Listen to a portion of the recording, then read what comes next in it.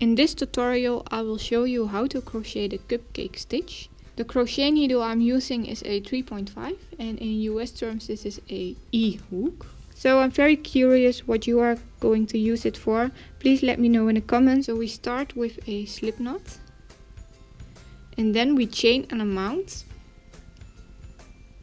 which is a multiple of 6 plus 3. For example 9 or 15, 21, 27. For this example I will make 15 chains.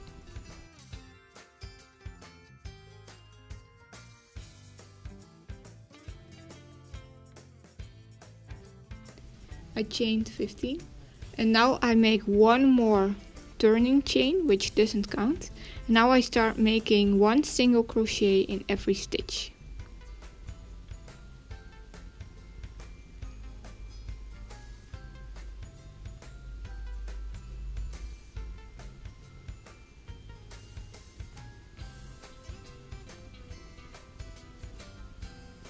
and this is number 15 and now we are going to use the color that we want to use for the cupcake holder.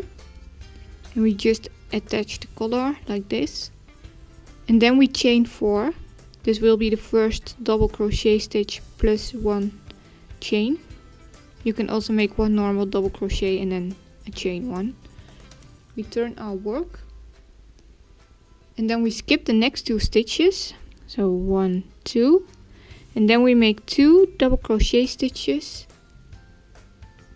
in the next stitch. So two in one. And then we make one double crochet stitch in the next one.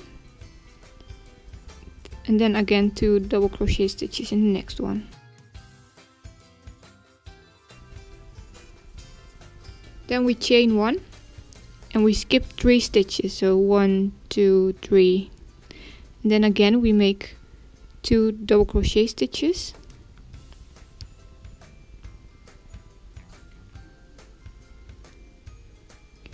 One double crochet stitch. And two double crochet stitches in the next.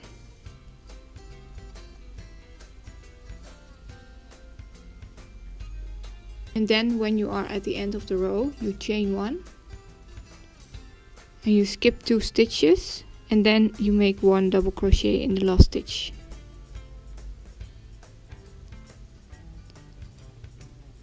Now we are going to change to pink and we change the color like this. You can also use your own technique but this one is very easy. And then you chain one. You turn your work. And then you make a single crochet in every stitch. In the front loops only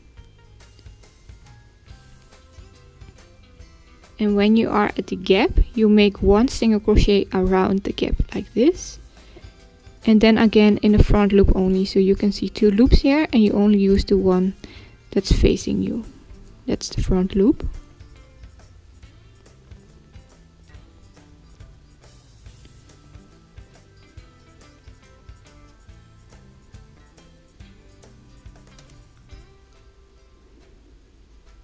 And then again one around the cap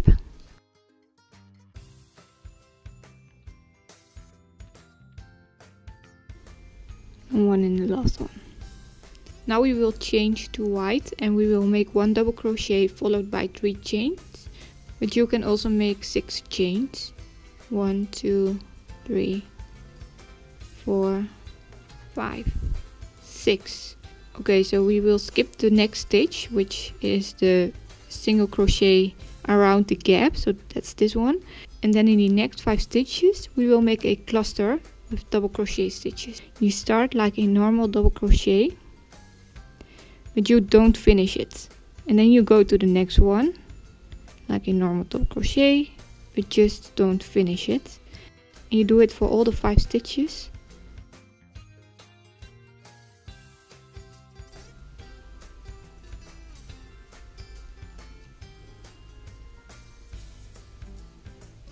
So at the end you will have 6 loops on your hook.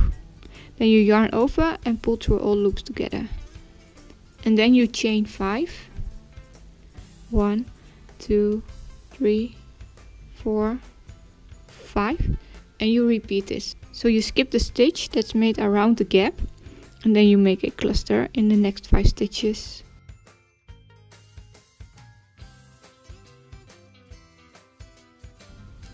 When you're at the end of the row, you chain 3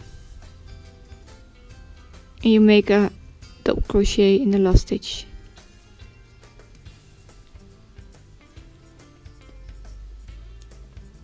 So now we will change back to our starting color. We chain one, we turn our work and now we will make five single crochet stitches around the bows of the previous rows. So around this one this one this one. One two three four five.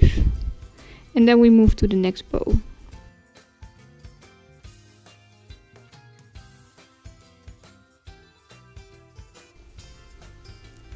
five we should have the same amount of stitches as where we started. So I started with 15 stitches and again I have 15 stitches now.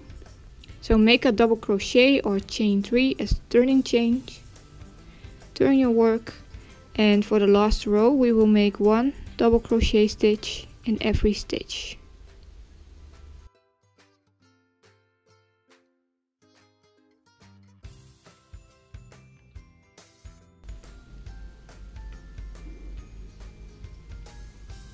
If you like you can add a bead over here so it looks like a cherry. I've seen some examples that are very cute.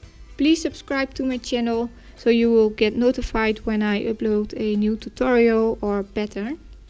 And I hope to see you in my next video.